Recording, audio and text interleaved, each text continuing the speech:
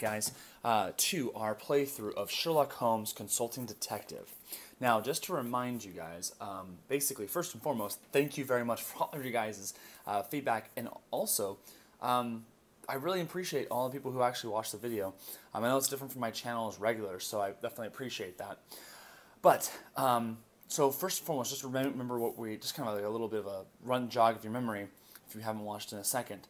Um, currently, there's a guy named William um, uh, Razor who is playing Sherlock Holmes in a uh, play uh, at the, I think it was the Drury Lane Theater, okay? And uh, he was murdered. Now, we found out that the murder, uh, or we, at least we heard from the person, right, the, the brother, uh, I think his name was Charlie Char- Charlie Chaplin. I don't. Is it named Charlie Chaplin? I think that's what the guy's name is actually Charlie Chaplin. Um, but yeah, so his name, uh, the murderer, Charlie Chaplin, um, is playing Billy. Right? He's playing Billy, and his brother Sydney Chaplin, he is the one that has been uh, charged with the murder of killing him. Now, supposedly, um, what was her name? Uh, Jean Bierson I think Bearden. See, I have my little notebook right here.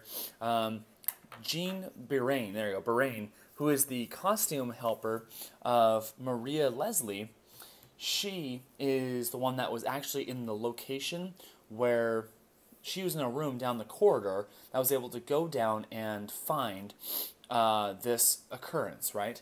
So, with that being said, here, guys, it was kind of it's kind of interesting because we don't really know what really happened because the pistol, she says, fired at 1245, right? Okay. So at 1245, supposedly, it fired. But then she said she heard footsteps at 1220 and at 1245 also footsteps. And then one or two minutes later, that was the shot. But we also know that when we went into the room, there was a blank bullet hole or a basically a, a powder from the, the, the shot that is a blank firing gun. So we don't know if that's actually according to, that's not a occurrence, just a one-off that he was firing guns into the wall, but he was an opium, uh, opium addict. And then we went to the criminologist. Uh, last thing here, we went to the criminologist and found out that he was killed with an air pistol. So it was silent, um, but not, of course, very. It's not really a deadly thing, but he was killed with an air pistol, so it's very silent. So, if that's said, the sound that we heard, it was not the actual murder weapon, right? Because he was killed silently. Note, though, that there was a note to Jack Vernon that he was sending, or somebody was sending a telegraph to Jack Vernon that says, um, oh, what was it? It was something. Have you have you reconsidered my offer? So, with that being said here, guys, I have, I apologize, my nose is a little bit uh, stuffed up here, guys. Um, with that being said, I, I have created a list of places that we could go to if we haven't already figured out where we want to figure go to first.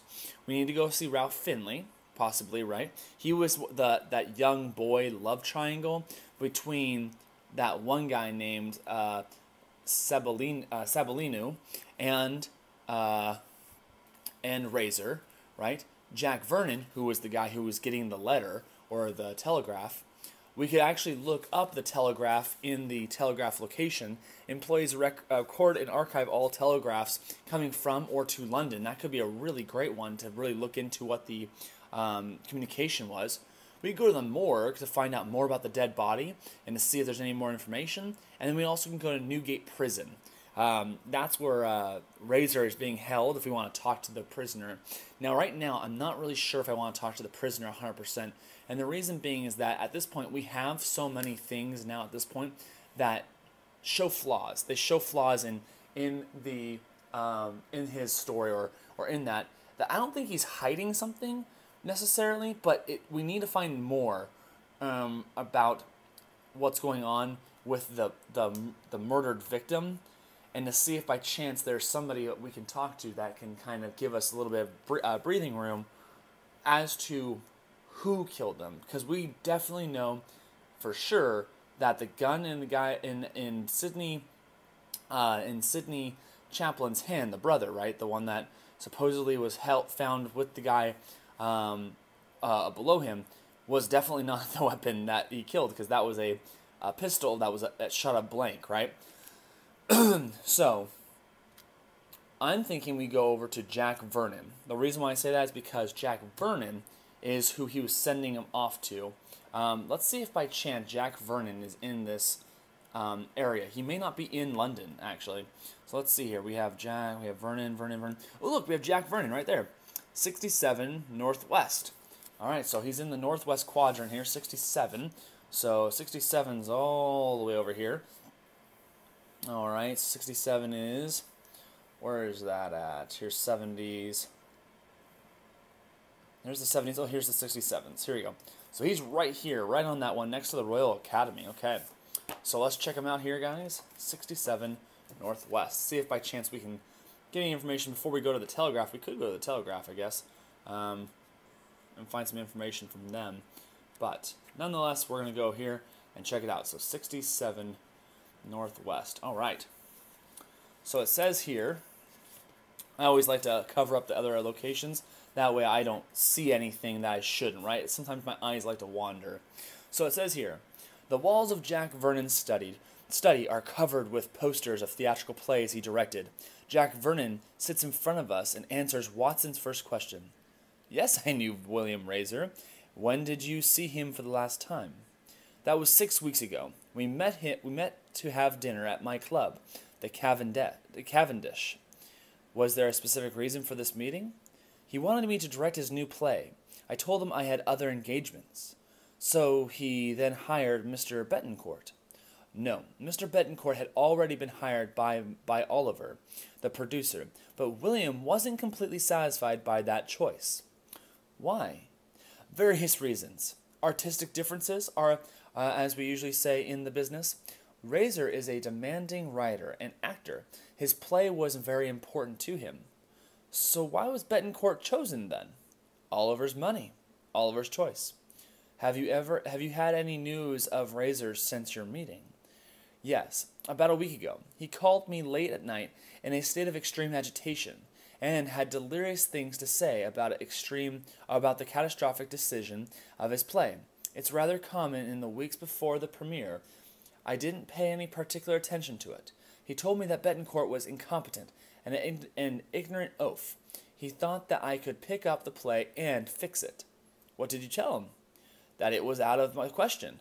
As I said previously, Oliver was the last word in, the, in that matter of the direction. Moreover, I didn't want to have anything to do with William uh, Razor after uh, the disaster experience of Henry VIII, the arguments with uh, Sabellini about Finley, the abandoning of the production to tell you the truth. I was surprised that Oliver would work with that man again. Of course, Razor is so egocentric that he never seem, uh, sees himself as a problem. He believes that everyone will jump at the opportunity to direct the great William Razor. He argued with Sabellini about what? Or what about? Sorry, there are enough rumor mongers to see uh, to feed the entire uh, British press, and I want no part of that. But so we already know what he was arguing about, right? He was arguing about, um, uh, of course, just control, creative differences, and also uh, there was that love triangle between him and Finley. So what it looks like is there was actually some big differences. He or not him. This is the this is supposedly I think this is supposed to be Sherlock, but uh, it sounds like William Razor was having issues with the director and uh, of course the producer. Now we already know the producer was downstairs below, trying to, was calling and talking to somebody. So I'm absolutely certain something's going on with them. And I would absolutely like to see here if we can find any information here. Um, the reason why I want to check out the telegraph area is because it really, I mean, there has to be something going on with the communications between each other. So um, if we write that down, so we went, so we have to mark this down real quick. So we went to Jack Vernon's lair, uh, place, or not lair, his residence, right? Uh, Jack Vernon, all right? And he's mentioning to us that there was actually creative differences with the director now, remember, we already know because we talked to uh, the social media guy, right? Uh, I think his name was Langdale Pike. Um, he's a guy we know. Um, he had mentioned that the director really is nobody to think of. He's he's very basic. He's very boring. He doesn't really do much, and so it's not really a necessity. I don't think the director is the problem. I think the director um, is not the problem. I think it's Oliver.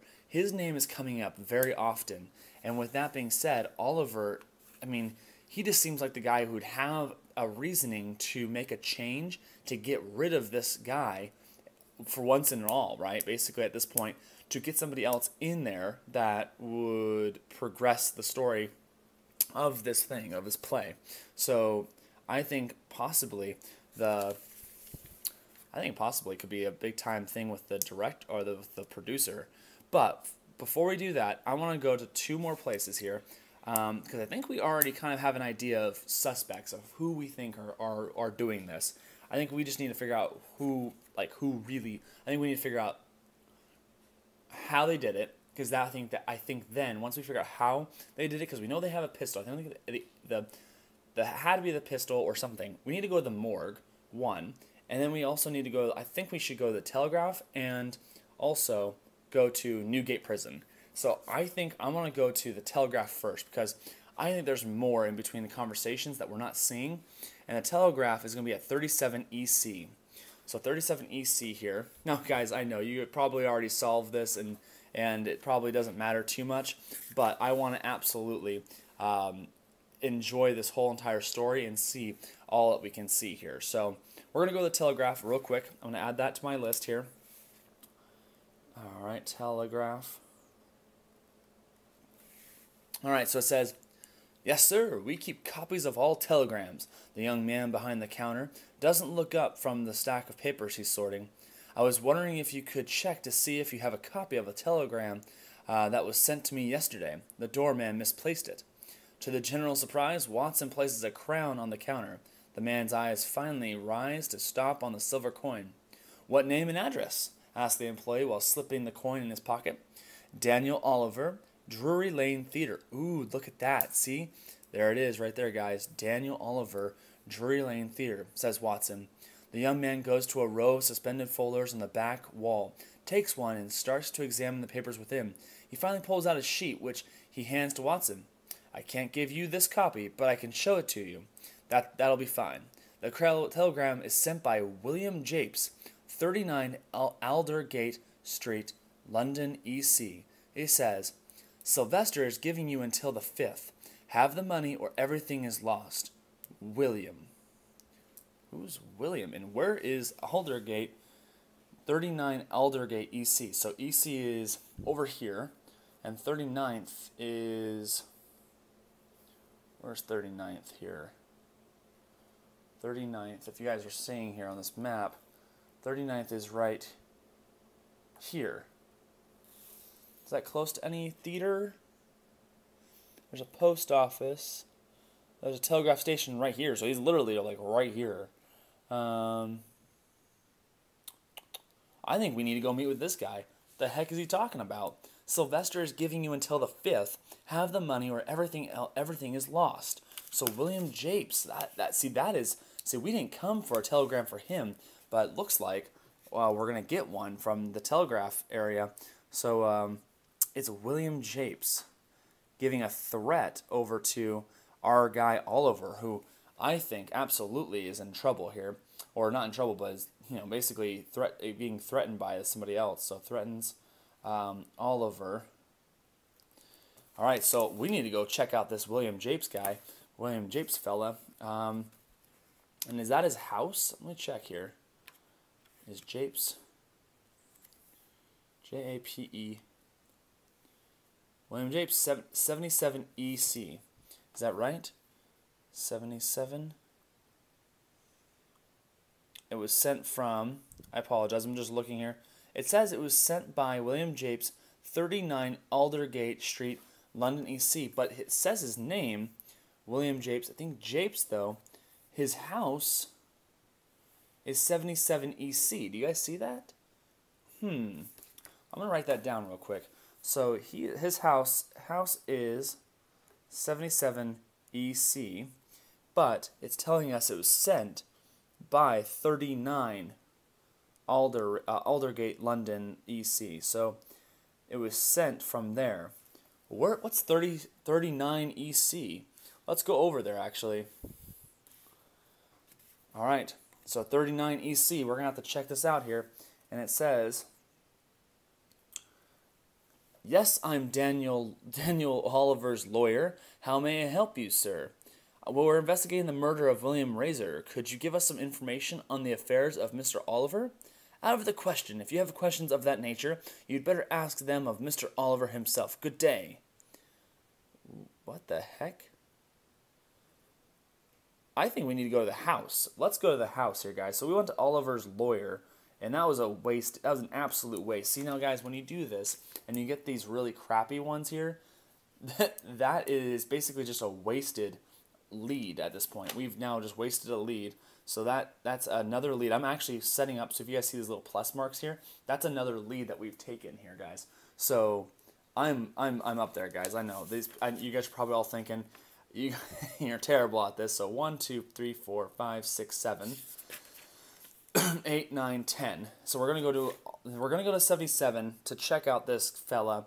Uh, real quick, and then I think we're going to go over to the morgue. We should, at the end of this part, we should be able to figure out who killed uh, this guy here. So, all right, let's go over to um, Dan.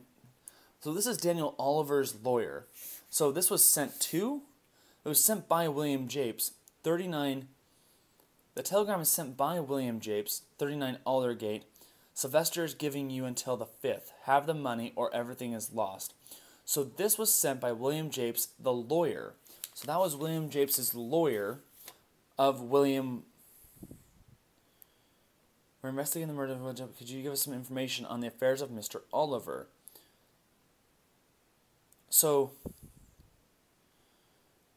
that's so strange. Have the money or everything is lost. William. Well, his name is William Japes, right? So he's sending it on behalf of Daniel Oliver. That's his address. But William Japes, though, his address, his house address, is 77. So we've talked to this guy, right? Hmm. Do we waste another chance to go to his house? I don't think there's any point in going to his house. He's just the lawyer. And there's no point in going to him. Did we already talk to Oliver? I think we did, didn't we? We already went. We already went and talked to the and talked to Oliver, right? Oliver, Daniel Oliver, 45 Southeast. Did we already go to Oliver here? I'm not sure if we did. Daniel Oliver. Yeah, we went to Oliver Residence. Other theaters create competition. So, who is Sylvester? Give me until the 5th. Let's see here. Sylvester. Is there a Sylvester in here? I don't think there's. They're not going to just have to be his last name, right?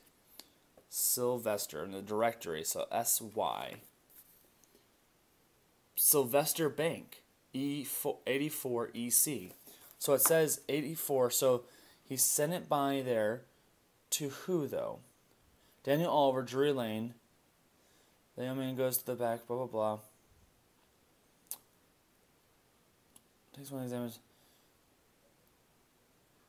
But it doesn't say where it went to, right? It just said that Sylvester, so the bank is giving you until the 5th. Have the money or everything is lost. William. So it was a lawyer sending it on his behalf, right? Let's go over to the bank. We have to, right? We have to go over to Sylvester's bank or Sylvester Bank to see. That's 84 EC. So 84 is right here, right? Let's check. Where is that at? 84, 84, 84. Right here. So that's right over here. So we're going to go to 84 um, EC here and see if we can find something. All right. So we go over here. It says, we wait a few minutes before being led to the offices of the president of Sylvester. Thank you for meeting for uh, meeting us, Mr. Long," says Watson while shaking his, the hand of the graying and portly gentleman. If you're helping Mr. Holmes in his investigation, I'd be glad to give you assistance. We're investigating the murder of William Razor. We have been led to believe that Daniel Oliver has been in business with your bank. The president is quiet for a few moments. He pinches the bridge of his nose and passes his hands through his hair. I need to respect the privacy of our clients, as assured by uh, professional confidentiality. However, as it's a murder, I can tell you that Mr. Oliver is indeed having financial difficulties. I'm afraid I cannot give I can't give you more any more details. Something is up with this. So Oliver absolutely has motive. There's your motive right there. He is losing money or something, and the bank is telling him that he has until the fifth, which of course, um, in our terms, since this is occurring on the 16th, that's only like two or three weeks, right? That he has to get the money or everything is lost. So why wouldn't it be to make a scandal, probably cause an insurance claim or something like that? That would absolutely make sense completely, um, for sure. So, hmm. Oh, oh there goes my note. um, so let's see here. All right, so who do we have? Who do we think would have done this? I don't feel. I feel like we're running around in circles, and I apologize, guys. I so we went to the Telegraph, um, and we went to the Sylvester Bank, Vester Bank. Okay, and they said uh, financial troubles is definitely what's happening. Uh, troubles for um, Oliver, Mr. Oliver. Okay, so with that said, here, guys. Do we go to Ralph Finley's house to see if see anything occurred there? Um, because I think he's the last person we need to talk to before we basically just give up and just go over to the one to the actual the the the suspect, right? Um, Finley, Ralph Finley, 96 West West Center. So 96 West Center is where are we at here? 96 West Center. There's some 90s around here. Yeah, 96 is right here. It's right here. He lives between Somerset and he lives right. Wow, he lives really close. I guess that makes sense since he's a actor here. So 97 West Center. Okay. All right. Oh wow, look at this. Okay. So we have an opportunity here. We have a really creepy uh, image here of I think Sherlock Holmes. Um, but it says here. Okay, so Watson knocks on the door. Here it is. So Watson knocks on the door to Ralph Finley's apartment for the third time. The door finally opens. A young boy of about 16 years of age is standing in the doorway, staring de- uh, defiantly at us. Is Ralph Finley there? asked Watson. Who is asking? Says, asked the, uh, says the boy. Watson hands him his card.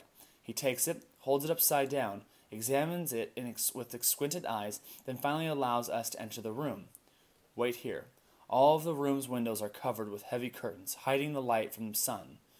Only a group of candles standing on a large oaken table in the middle of the room illuminate us. Watson brings our attention to a strong and acrid smell, easily recognizable. Opium, he says. Near the candles, we can see a few pipes. The floor is littered with pillows and low tables. Oriental paintings, most of them erotic, are hanging here and there on the walls. The entire room has an Asian look to it. Did Kong send you? We turn around and see a young man wearing a brocaded blue silk bathrobe ornamented, uh, ornamented by a red dragon. Coming closer, we realize that he's actually older than he uh, looks at first. I told Kong that I'd take care of it. Uh, I don't know any Kong. I'm here about William Razor. Watson interrupts him. Willie, what happened to him? I'm afraid he's dead. Dead? But how? M- murdered. He was shot. Who did that? Was it Nicola? Don't tell me it was Nicola. Sabellini? No, we don't think he's implicated. Why are you asking us that? What a relief. He's so nice. It was stupid of me to think that he could, that he could have done anything. Why did you suspect him? Suspect him? No, no, no. That dear Nicola is a hot blooded like all Latin people, but he wouldn't hurt a fly. Finley wears a thick layer of makeup, but it isn't enough to hide the pockets under his eyes and his tiredness. He wields, uh, he wields words, not weapons. They argued horribly before Willie left the show. I, it was frightening to see the, these two admirable gentlemen quarrel about me. Do the police know who killed that brave Willie? They've arrested a young actor, Sydney Chaplin. We believe they've got the wrong culprit. Maybe we could get settled more comfortably to discuss it, says Finley with a lascivious smile. Do you know who could have wanted to kill Mr. Razor? Few people liked, uh, liked Willie much. He didn't care about other people's feelings. But I can't think of anyone who wanted him dead or him harmed that badly. He had his good ideas. You know, Dr. Watson, I also have my good ideas. Would you be interested in discovering them? Thank you for your time, Mr. Finley. If we have other questions, we'll let you know. I'll wait for the new from the uh, I'll wait for news from you. Hmm. So that's that's questionable, right? He goes right to Nicola. He goes right to Nicola Sabellini. I think we need to now change our focus over to Nicola Sabellini after talking to Ralph Finley. Ralph makes it sound like Nicola would have absolutely had reasoning to do it, but he says he wouldn't hurt a fly. I don't know. With the right people, I think he has the motive to do it. Um, Nicola Sabellini. Mm-hmm. And he, they said that he was. They said that they were having lunch. No, Nicola Sabellini was. Where was Nicola Sabellini at? That's where kind of I'm wondering. Uh, does Sabellini? Because I think we already checked. Sabellini doesn't have a house here, right? Sabellini, Sab. Sabellini. Yeah, I don't see a Sabellini in here in this area. I don't think he has a house in London. Hmm. Yeah, I don't. So, yeah, he doesn't have a house here. Um, not least underneath that name. He may go by a different name for sure. Um, but Sabellini. Hmm. Nicola. I wish we had an opportunity to talk to him. He's he at the theater? Where's he at? Because here's the theater, right? But he's not in. Well, he's here. Yeah, he's here. He's at the theater. Do we talk to him? Do we even care to talk to him? Because if we talk to him, we waste a, a, a great moment uh, of, of a lead, essentially. Um, hmm. Okay, so our question is now that we know Nicholas Sabellini had a reasoning, right? He was in a love triangle with Ralph Finley, who was addicted to opium, right? And so was our actor who was killed, uh, William Razor. So, um, hmm. Do we talk to him? I think let's. Hmm. Man, this is tough. This is tough, guys. I'm sorry. I, I this is very tough. I'm not sure. I, you probably were probably screaming at the the screen to tell me exactly what you're trying to say here. But I think at this point, our smart factor would be to uh, probably check out one last time Nicholas Sabellini uh, to just you know talk to everybody, right? Talk to every person we can to see if there's any contradictions in anybody's story. So it says Nicholas Sabellini.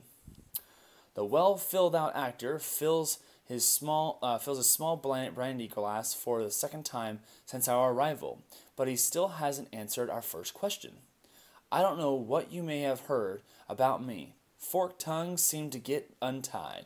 I wasn't even at the theater at the time of the murder, says Sabellini, as he puts down his glass to light a cigar. His right hand shakes nervously. We're simply trying to help young Chaplin. If you have nothing to do with Razor's death, help us prove it, Watson uh, enunciates sed- uh, sedatedly. Eyes fix upon Watson. He smokes silently after a good moment, a minute. He finally talks. It's true that I'm not saddened to learn about Razor's death, but all I have to say to you is that I've got nothing to do with that, and I'm not ready to lay out my private life for all to see. Man, so he doesn't care at all. Oh my gosh. Okay, so uh, Sabellini, uh, he's a terrible human being. Oh my gosh. Uh, Sabellini uh, s- kind of sounds like he didn't do it. All right, so. All right, so I'm not smart enough for these games sometimes. I, I really am. I'm not really that great. So there is something we're missing. We have the information. I know it. I know we have the information. It's probably just sitting right in front of us here because we know we've already talked to Tom Ryder, who said uh, to us that it was um, it was Oliver who was on the phone at 12:30, right? Down by the location underneath. Now, do we have any reasonings or availability to go down there and see? I don't think we can. But what I can say is we uh, what we can do here um, is definitely make the uh, observation that there are other people who didn't actually leave, right? Because there's people who left, and then does anybody arrive right before we hear? Because like right here, so you see how there's a time frame from 11:45, uh, F. Stanley goes for lunch, and then at 12:30, D. Oliver departs. See what I'm saying? It just makes too much sense that he's the one that did it, because he's leaving right as the murder probably takes place because we hear footsteps at 12:20, right? 12:45 we hear other footsteps which easily could have been um, anybody really at that point. point and then we heard the shot that occurred um, at that time. Um, do we have like a drug house or anything like that? Do we have anything that could help us see things through this? I guess um, uh, course of source of information for criminal cases, illegal affairs and underworld figures. No. Um, Somerset House. I guess we could check that out. It's to be consulted freely, so we can check out some. Basically, this is like a background check. Like we can figure out stuff about him. So let's do that real quick, and let's check if we can find any information. Just let's just go to 17 West West Center real quick because it's free. We don't even have to actually add it in here. We can just add the notes that we take because it doesn't count. It's, we can use it freely. So 17 West Center. We should always go. We actually should always go to that place, uh, anyways, because that will be. Um, it's free, so we can always go there. Okay. So 17 West Center. 17, 17, 17. Did I miss it here? All right, there we go. All right. Oh, well, that, okay, well, good to note. The employee looks at us strangely. Razor is American. I don't have much to give you. Great. Well, perfect. So, there's that. All right, so we don't have anything we can't, because of course they don't have identification for Americans back in England in the 1800s, right? They wouldn't have that. That wouldn't make any sense. Um, so, um, hmm. Okay. Um, Let's go over to the medical examiner over at the hospital. He performs the autopsies on all the bodies found during the cases. So let's do that real quick. He's over at 38 East Center. 38 East Center. So he's over here. Okay. 38 East Center. Okay. So there's a little bit of there's a little bit of talk here. There's a little bit of, a little bit of conversation. All right. So it says here. It's a death by bullet only one bullet shot straight in the eye. So at least we know now it's a shot straight in the eye, right? Because it was an air pistol. We know that, right? In the eye, a quick death. The bullet came from below, going upwards, and lodged itself in the brain. What's the time of death? Between noon and 1. So that absolutely concurs with um, what we're knowing right now. Hard to be more precise, though. What have you discovered during your autopsy, doctor? There are signs of regular and sustained opium use. I don't know what to tell you. Lestrade told me the version from the man he arrested. I don't think the murder could have happened as he describes it. There are no signs of powder burn around the wound, so the pistol had to be at least three feet away from the victim. That doesn't match the young man's testimony. Thank you, Dr. Meeks. You're always a great help, concludes Watson enthusiastically. So it sounds like the because I remember he they were saying that the the the murderer, say the, the the suspect, right? Sidney was standing over the body, and he was on the ground, according to Jean. And then it sounds like right here, the version of the testimony was that they were almost like together, they're like fighting or something. Um, and so it sounds like it had to be three feet away from the actual victim. So it could it had to be victim had to be like right here, right? And then the gun had to shoot up and into him from the bottom. Does it have anything to do with that broken needle, uh, the broken nail or whatever it is? Man, that sounds almost like it has to do with the nail. Hmm. It's curious, guys. I'm very curious about that because that nail stuck into the bed, the broken pocket watch, it almost sounds like possibly um, it could have been like a machine or a mechanic set up to shoot or fire something with like a tube or something. You know what I mean? Like we, we saw there was like a tube or something that could easily be like um, like a nail gun or something that shot into him, but we but would be a shot. He said there was a uh, it was a bullet wound to the eye, right? Went right into the head, right, right into the brain. So it lodged itself into his brain, but then we got the bullet, and it was a air it was an air bullet, right? Oh gosh, this is tough here, guys. Um, so right now we have that it's not the guy we think it is. I'm thinking we definitely need to talk to Sherlock Holmes. We need to reach out to him to figure out if he has any pointers. He's a he's somebody that we can go to just to ask. Um, but I mean, the problem is it's it's kind of tough. I don't want to ever do that, especially when I'm playing a game like this in front of you guys, because it doesn't seem like somebody like it doesn't seem like the right thing to do. It seems like you know. Hmm.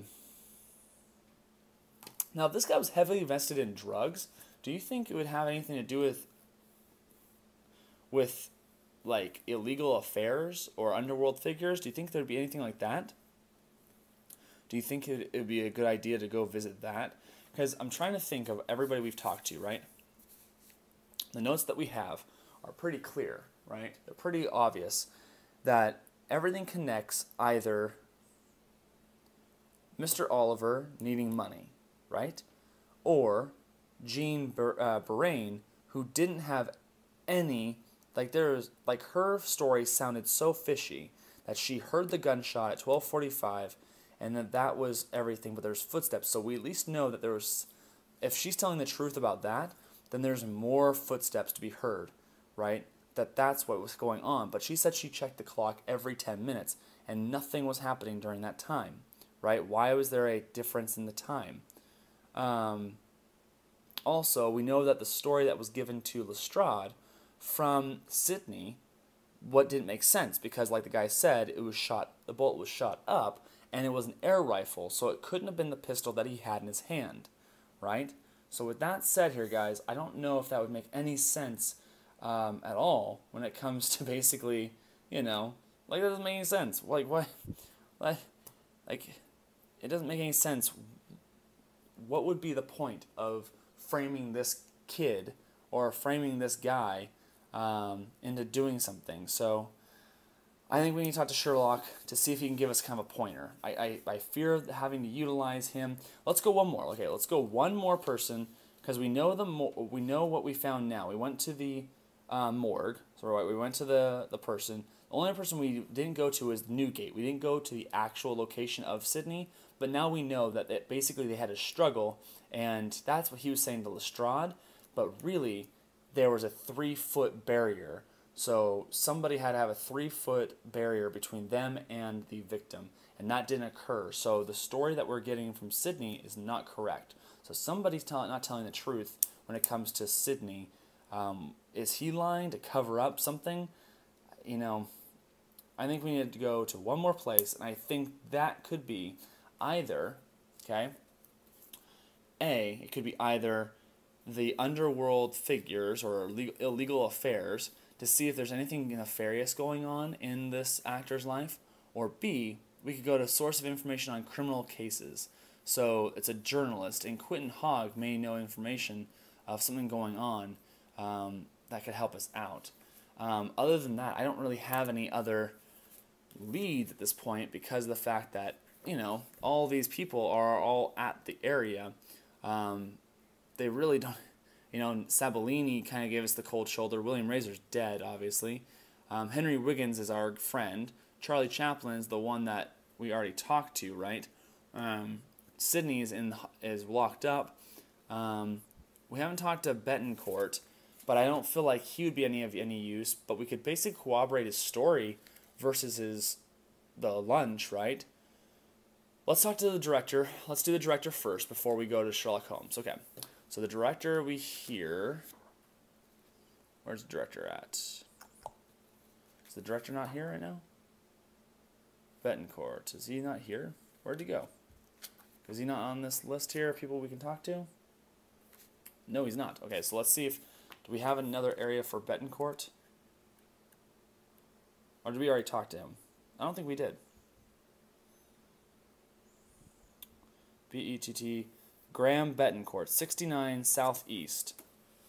So 69 Southeast. So over here. Do we talk to the director right here? He's right here, um, next to the uh, uh, lunatic asylum, which bodes well for everybody. So 69 Southeast. Let's check. All right, 69 Southeast. Anything good for him? Southeast will be over here. Southeast, no, no, no. 69 Southwest. Oh, so it says, we knock at the door many times, but no one answers. So he's not there. So we went to that lead. We spoiled that timing there. Oh, gosh. So Director. house. no one home. So he's not home. All right, let's. Um, man, I'm I'm out of I'm out of thoughts right here, guys. So 42. Let's go to let's go to Sherlock Holmes, guys. 42 Northwest. Let's check it here. 42 Northwest is always a place to go to. See if Sherlock has any ideas. He sometimes will patronize you a little bit when you talk to him, but sometimes it's helpful to at least try and see if you can catch an idea. Holmes and Wiggin have come back to take tea, apparently in little hurry to conclude the investigation. Amused by our entrance on stage, Holmes interrogates Wiggins in front of us with a slightly forced, um, almost theatrical tone.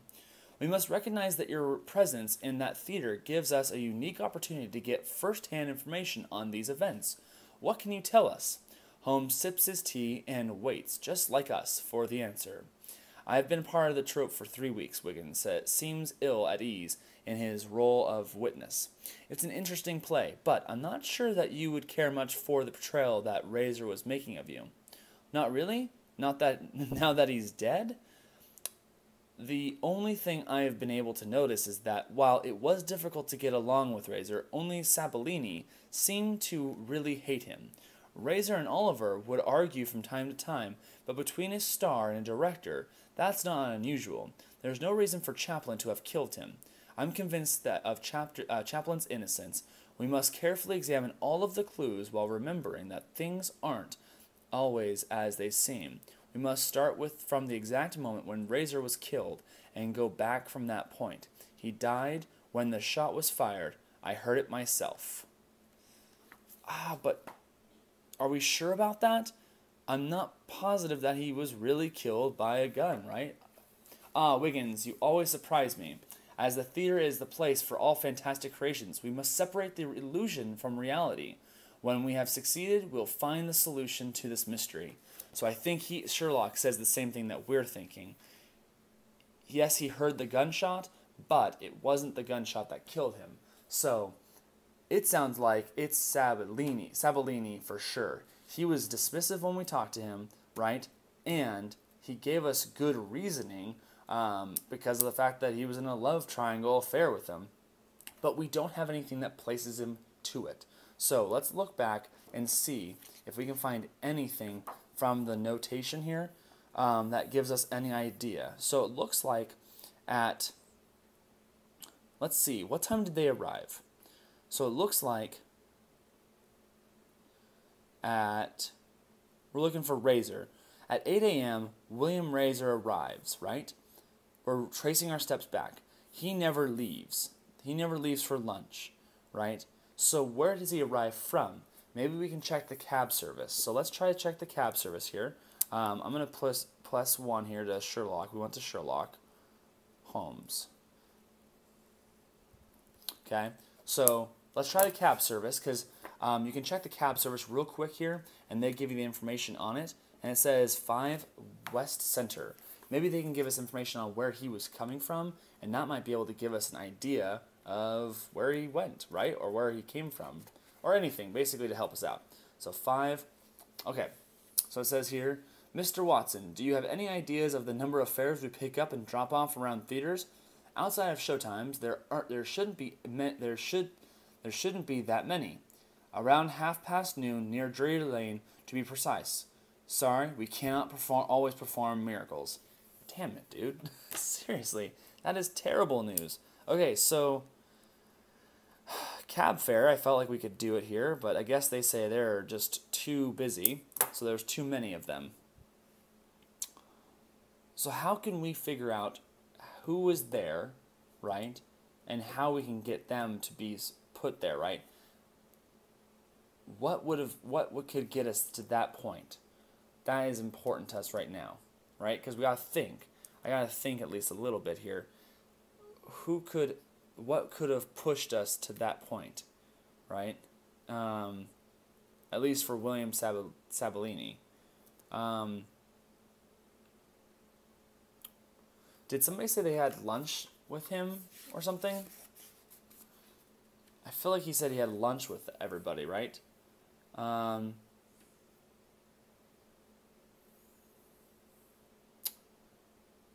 let's see here. Charlie and them went to lunch, right? They went to lunch. For lunch, right? Most of the actors had gathered on stage to listen to Betancourt's remarks. It was a quarter at to one when we heard a shot ring out from backstage, then a shot of a woman. We rushed backstage to into Razor's dressing room. Sidney was leaning over Razor's body, and a pistol in hand, Razor was dead. And then when he shouted, the costume maker from Maria Leslie, she ran to the Razor's dressing room when she heard the shot. Okay, so where did they were they eating at? Where did everybody go to lunch, right? Because maybe if people all went together, we could figure out what they did, right? Maybe no, no, maybe, maybe not. Not really sure here. Let me just check real quick. Um, so it says here.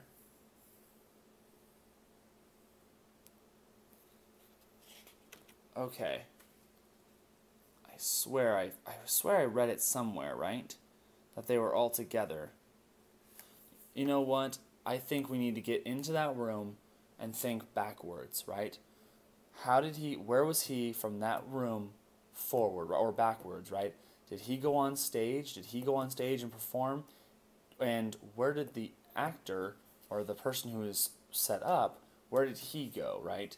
Because it sounds like everything's not as what it seems. So let's go over to the prison, right? I think he's in Newgate, right? So Newgate is where? Newgate is 36 East Central. Okay, so 36 East Central. That could help us out here. Okay, 36 East Central. Let's just go there because I'm starting to lose. I'm starting to lose my train of thought here on this one. It says, all right, so this is where we're going to try and see what's going on with the actual, like the guy who is basically pointed out to be the person who did it. My friends, I'm happy to see you, and I'm sure that that Mr. Chaplin will have been more delighted. Come, let's go talk to him, Hall says to us. It's a distraught Sidney Chaplin who is waiting for us in a small cell set aside for discussions between prisoners and their lawyers. You need to tell the police that it's a mistake. Watson takes control of the conversation. Mr. Chaplin, we're doing everything we can. Sherlock Holmes has gone to investigate. I am I'm sure everything will go well. Tell us what happened after you, Charlie and Wiggins, finished your lunch. Right, because all three of them went to lunch. Sherlock Holmes, what a relief. Sidney takes a deep breath. As you probably already know, we had lunch at Punch and Judy's. Well, that's a good point. Let's put that down. All right, so we went to the um, prison, right, Newgate, and they ate at Punch and Judy's. Okay, so they went to Punch and Judy's. Sabellini called me over as we were leaving. He asked me to tell Razor that he'd be a few minutes late, as he needed time to finish his meat pie, and that he wouldn't be long. He, we went back to the theater. Wiggins and Charlie went to see Betancourt. Betancourt. Um, so they went to see Betancourt. So that puts them with the director, right? And I was supposed to rehearse a scene with Mr. Razor. I was a few minutes early, but I went straight to Razor's dressing room to give him Sabellini's message. I knocked on his door. No answer. I knocked again, then opened the door. Mr. Razor was lying on his bed, back to me, sleeping. I knew that we were expected uh, expected by Bet- Mr. Betancourt in a few minutes, so I wanted to wake him. I shook him by the shoulder. I think I scared him. I saw him uh, saw he had the pistol in his hand. Everything happened so quickly. He turned, and the shot was fired. I tried to take the pistol away from him, and he fell to the ground. That's all I know. Everything happened so fast. Sidney has become increasingly agitated as he recounts the events that took place in the dressing room. He's on the verge of tears. Watson attempts to calm him down. Before we can continue um, to talk, a guard comes in. It's time, guys. You need to go now. As we exit the Old Bailey, Hall puts his hand on Watson's shoulder. We need proof, my friend, or missing pieces to complete this puzzle. Okay, so the guy says he got a message from ba- uh, uh, Sabellini, who was at this location at Punch and Judy's, right? Okay, so we need to go there. We need to go to Punch and Judy's right now to figure out any information on who was there for lunch. And then maybe we'll call this video a day right now and uh, check out on the next part uh, for the series. But as far as I can see right here, guys, he was lying on his bed. Mr. Razor says he was lying on, or Sydney says Mr. Razor was lying on his bed, back to me sleeping. So he was still alive, supposedly. I know that we were uh, we were expected by Mr. Betancourt in a few minutes, so I wanted to wake him. I shook him by the shoulder. I think I scared him. I saw him uh, saw he had the pistol in his hand. Everything happened so quickly. He turned, and the shot was fired. I tried to take the pistol away from him, and he fell to the ground. That's all I know. So there was no struggle, really, right? There was no struggle. It just sounds like he got up, right? I shook him. I think I scared him. I saw he had a pistol in his hand. Everything happened so quickly. He turned, and the shot was fired. So it sounds like something occurred that when he woke up, he maybe was turning. There was a mechanism with his pocket watch or something that somebody set up that basically shot him, right? And then framed somebody to grab the pistol, and then that way, um, the one lady could come in and see her or see the person the the, the person Sabellini would basically set up. So it sounds like Sabellini may have set up this kid um, more so uh, than anything, right? All right, let's go over to Punch and Judy's, and we'll we'll basically see if we can either call it a case if it's good, if it's good evidence, and if not, we'll uh, oh boy, we'll try and see if we can do some here. So. Punch and Judy's. This could be it, but this will be the it of this episode real quick, and then we'll get back to it here uh, next time. So Punch and Judy's Club is 73 West Center. So it's pretty far away here, guys. I think it's over here. It's like right here. So it's far away from the theater. Well, it's actually it's one block, not that far. It's not that far from where I was talking about, but 73. Um, 73 says here. All right, it says the Punch and Judy is a well-known meeting place for theater workers of the area. The owner joins us at our table in the back room. Yes, Sabellini came to eat here yesterday. I spoke with him for a bit. After having given him his, uh, his phone message, he had a country style meat pie and one or two pints. What message? A message from the guy who was shot, Razor. He asked me to tell Sabellini to drop by his dressing room before rehearsal that afternoon. How did you know it was from Razor? He told me so. What time did he call at? I didn't pay attention to the time, the exact time, but it must have been not uh, not far from half past noon. So this guy's telling us that he actually got a call from Razor at twelve thirty.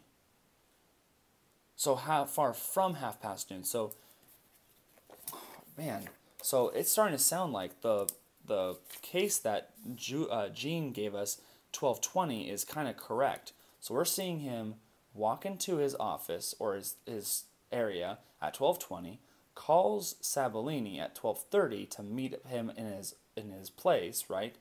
But then at 12:45, 15 minutes later, supposedly he's sleeping and then that's when the gunshot goes off and the gun is in the guy's hand. That was a blank, right?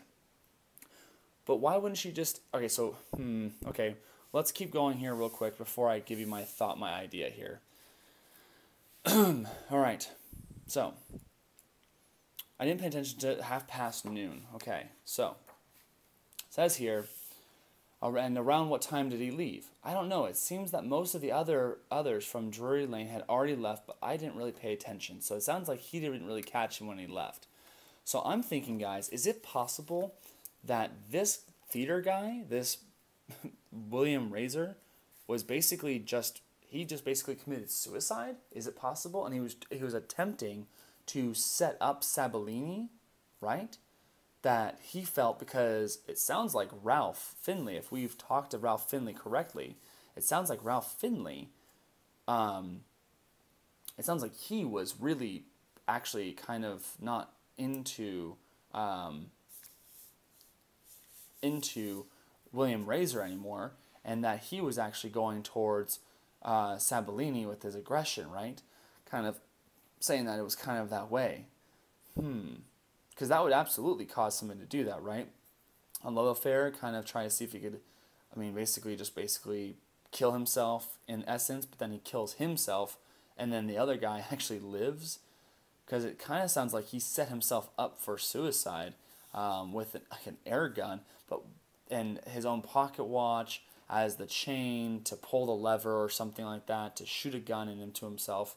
Um, the only last thing I would want to know here, because now we know that we went to the Punch and Judy's, so I'll add that Punch and Judy's. So it corroborates the story that he was there. So Punch and Judy's. My only thing is, do we have any opportunity to see if there's any mechanisms around in the case? Because we have, if you guys look here, we've we haven't been to the Scotland Yard, but I don't feel like they would actually have um, great information. Only reason why I say that is because they don't like Wiggins, and he is a central part of this case, so they probably aren't going to help us. We've already been to the medical examiner, we've already been to the criminologist. Um, ancient, uh, ancient legal and criminal documents, that probably won't help out. We've already been to Somerset. We don't need to go to a lawyer at the Old Bailey Court, source of information on court cases. We don't need that, really. Um, we could check out Porky Shinwell at the pub. He might have good information there. Um, current events, most notably foreign affairs, that wouldn't help. Um, source of information on criminal cases, the Police Gazette, that could give us information. Mycroft Holmes is not good. We've already gone to Langdale Pike. We already tried the cabs drivers and everybody. We don't need to go to the library, and we already tried Telegraph, and we already tried Sherlock Holmes. Okay. So our last thing I'm going to try right now is either the illegal affairs for Underworld and Underworld affairs or um, criminal affairs or criminal cases. Man, hmm. I think because illegal, because it's all these drugs, it almost sounds like we want to go to Porky Shinwell for an opportunity here, guys, because he's the owner of the Raven and Rat Pub he might know some word on the street, little scuttle here, guys. Um, he might know some information, right? He's in 52 EC. Now, he's a little bit far away, though, right? He's a little far away, like really far away, I think, right? Let me see, 52 EC, where are we at? 52, 52, where are you, 52? There, he's right here. So he's all the way up here in 52 EC. He's far away, but uh, Quentin Hogg is 35 EC, which is down here in, where is that at? 30, 37, 36. Why can't you all be closer? 34, 35, right here. So he's closer, so he has the opportunity to be really close to this opportunity right here, guys. We can go to both. All right, let's try one. Let's try to go to illegal affairs and underworld figures or information on criminal cases. Let's go to. I just don't know because like I'm trying to figure. out. here's what I'm trying to figure out, guys, and maybe you guys are too. I'm trying to figure out how he did it, like why he did it is already obvious. It's a triangle love affair. It's revenge, right? Try to set up the other guy to take him down and basically you know, get rid of himself and the one guy. He's pissed at everybody that his love affair isn't working, right? It doesn't make any sense. So I think that's a good opportunity for us to check out. So let's check real quick. What first one here, guys? Let's check. Let's check Porky. um, let's check Quentin Hogg. We're gonna check Quentin Hogg, and then this will be the end of the episode if we don't find anything good. Okay. So we're gonna go here, Quentin Hogg, to get one last piece of information, and if not, we'll we'll end the episode and we'll try and see if we can find some good information, and we'll go on the back end here. So let's go over there, and Quentin Hogg is at 35 EC. There, there's west. Nope, we don't need to go there here. So 35 EC. All right, 35 says here. Okay. All right, so it says here, so you're investigating the murder of William Razor, aren't you? Says Hogg after uh, uh, the usual greetings from our old friend. I'm not very familiar with the world of theater. I've seen the names of a few known actors in the articles, but I don't know any. What can you tell us about opium, Mr. Hogg? Do you know any of actors who use it? Watson, my friend, I don't think that vices are reserved to an artistic group or profession. In my opinion, there are as many actors who uh, smoke opium as in any Im imaginable profession. I don't think I have any information which could help you, but I'm always happy to see you. Okay, so that was useless. so um, Quentin Hogg, so we go to Hogg here, and he does basically doesn't give us any information besides the fact that opium doesn't matter. Let's go one more. Let's go 52 EC. Do we have any underworld opportunities here? All right. So it says we have a little bit of here. So it says, "Cheers, guys. Are you here for business or pleasure? It's always a pleasure to come here, Porky, but right now we're working on a murder of William Razor. The police have arrested one of our friends. We're sure he's innocent." You're quite lucky, Watson, Porky laughs. Many of my friends have been arrested before, but I've rarely been convinced of their innocence. have you heard about the murder? Sorry, my patrons don't really go to the theater. At times, there are a few artists, quote unquote, who come by here, full of romantic ideas about slums and poverty. They sometimes even end up even poorer in neighborhoods, um, in opium dens, and other such places. Are there specific places? Well, there's always the Bar of Gold, of course, but that's not a place for occasional patrons. A few of my clients frequent a, uh, a den in the southeast by a Chinese man called Hong, or Kong, something like that. In fact, I think I even heard uh, that an actor, what's his name, Ralph Finley, goes there sometimes. Sorry, I don't have anything more, guys. That's great. Look at that. So there's so it's okay. So a few of my clients frequent a den in southeast, run by a Chinese man named Hung or Kong. Why didn't we think about that earlier, guys? So we went to um, Porky here. That's his name. I'm, I'm not making that up. and he says there's two. There's Bar of Gold, where there's uh, opium den, and there's the the Chinese den here, guys. Um, Chinese den of south in the southeast called Kong, or run by a guy named Kong. So I'll put in quotations. And I think there was a thing in the newspaper, if I remember correctly, guys. Now that I think of it, um, no, War of Mong. Oh wow, the Mongol Curse. If you guys look here, guys, um, it says here in this one, the War of the London Opium Dens is still on the rise. Until recently, the general tendency had been to consider the actions of the Mongols as an enormous farce, but this is no longer the case. The character of the, the good Chinese savage is no longer appropriate under the light of the revelation of its in in iniquities. The looting started with the opium dens, but then spread to many shops last week, leading to a great outcry, causing people to realize that this diabolical opium had a hole and a spread much greater than previously imagined. The most shocking was the one led against the shop at Shoreditch High Street, um, behind the Liverpool train station. We have learned that the dens are not only frequented by the poor, but also by women and by many actors. It is necessary for, to form a crusade to root out this evil. Our illustration represents three famous Chinese place, places of perdition. These three places are accused of perverting young women. The focus uh, on these recent outrages is creating involuntary publicity to Alan S. Williams' next book.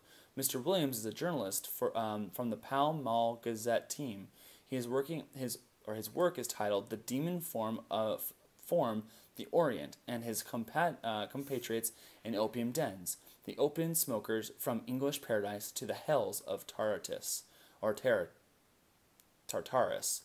All right, so it looks like uh, uh, looks like we need to talk to either I, William Allen S. Williams, right? And we need to check out that den that's in the, down by held a, a shop down by Shoreditch High Street behind the Liverpool station. All right, so guys, there we're gonna leave it off right here, guys. We're gonna leave it off here, and I'll write this down where we need to go to. So places to go here is where we're gonna end off here. So it's gonna be the Opium Den uh, near uh, Liverpool, right? Liverpool station. Okay. All right. So then there's that. There's also, um, oh, what's his name? Uh, Alan S. Williams. He's writing a book. That could be really good information here, guys.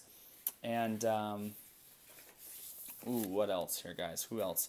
Um, Kong. Do we have anything on that? Uh, uh, den, opium den. I think we have. Do we have any opium dens? I don't think we have like a, a thing here. Do you have tobacconists? No, not there. Um, opium. I'm not sure why we have it like in the directory. That would make no sense here, actually. Theaters, steam shop, uh, ship companies, trail tea merchants, um, tea rooms, no. Um, wine merchants, watchmakers, tobacconists. Yeah, there's nobody in the name of tobacconist that would make sense because uh, he said Hong or Kong. Um, solicitors. Nope. Um, William Japes, of course, that's his that's his thing right there. Um, last but not least, here, let's look real quick. Um, inns, guides, gunsmiths, embassies, doctors, docs, clubs. Nope. Um, hmm. Chemists, that's a pharmaceutical. Um, baths. No, yeah, there's like nothing here, guys. Um, K, would he be in the actual uh, book? Kong? Hop Yi Kong. There it is, guys. Hop Yi Kong. Let's check that out. 48th Southeast. So we can also check out Hop Yi Kong. So let's check out his because I'm not sure why we didn't even check that out earlier because we had already talked to Ralphie about that and he had mentioned that he was actually afraid of, of what was going to come to him about that here, guys. So again, guys, thank you very much. We'll go to part three here. I apologize if you have already figured out the case or you already know the point um, or if you already knew we needed to go to Kong here. But again, guys, this is a fantastic game. I hope you guys are enjoying. Smash that like button down below if you haven't already. And I'll see you guys next time as we're going to try out and see if we can finish this after Sherlock kind of pushed us along the right path here. I think we had all the good information, but we just need to collect the right stuff to put together as to why Sabellini or how Sabellini um, caused this uh, event, right? See you guys next time. Thanks for watching. See you guys later.